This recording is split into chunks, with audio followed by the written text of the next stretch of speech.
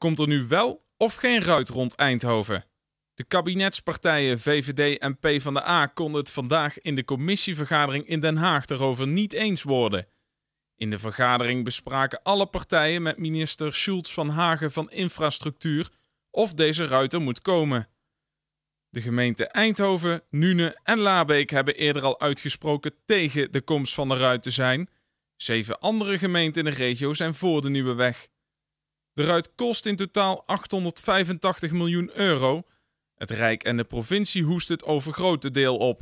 Morgen of volgende week dinsdag neemt de Tweede Kamer een besluit.